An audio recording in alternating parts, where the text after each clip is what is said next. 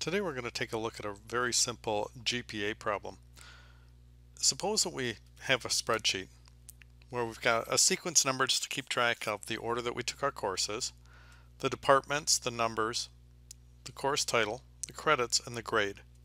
If we want to figure out what our GPA or grade point average would be, somebody might just take a look at this and say, well, of course, this is a B, or in other words, it is a 3.0. So I'll just take that 3.0, format that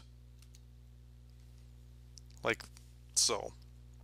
But suppose, for instance, that we change this around and instead of having a C, a B, and an A, we had a D, a C, and an A. Now the problem becomes a little bit more difficult because we have to think about as far as, well, let's see, how much is a D worth, how much is a C worth, and how much is an A worth. What we could do is figure out what the grade points are. So a D is worth one point, a C is worth two, and A is worth four points. So if I take this and get the average of these, we got a 2.333 and that's our new grade point average. So let's go back to what we had before. We said that we had a C, a B, and an A. Well, a C is worth 2 points, a B is worth 3 points, and there's my 3.0. Next problem that we run into is what happens if instead of taken an MOI course, we take something like Math 117 Pre-Calculus,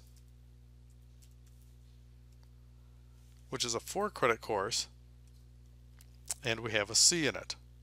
Well, now our grade point average really isn't a 3 because I've got four credits of a C versus only 3 of a B, and 3 of an A. So in that case what I need to do is I need to use what are referred to as honor points. The honor points is a weighted score. So I'm going to take my grade points, multiply it by the number of credits to get a weight, or in other words, 8 total honor points. I'll copy that down for my other cells so my three credits of a B is actually worth more honor points, and my three credits of an A is worth even more honor points than what we had for the, the four credit C. So what I'll do with these honor points to figure out my grade point average is I need to sum these up. So I'm going to sum up the honor points.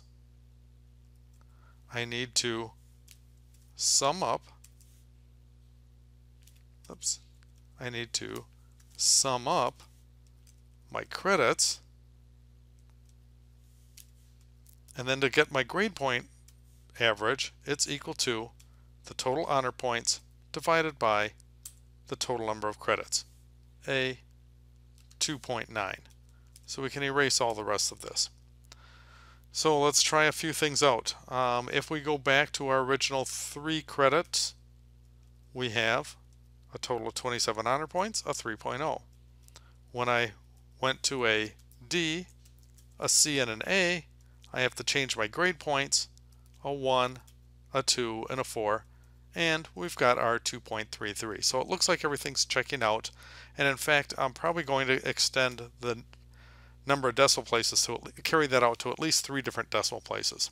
A few other things that I want to do is for the credits, depending on what your school uses for a, a credit system, you might want to display these um, where you have half credits, for example. So, um, I don't know, 0.5 credits are a possibility. But for us, we just have the fewest number of credits is just one credit. The grade points, that I would probably carry that out to at least one decimal place. And as so with the honor points. So we'll carry that out to one decimal place. So we've got a fairly simple GPA problem. Um, it, it works out so long as we enter in our grades, change the grade points, change the credits, leave the honor points as a calculation, and everything else ends up being a calculation.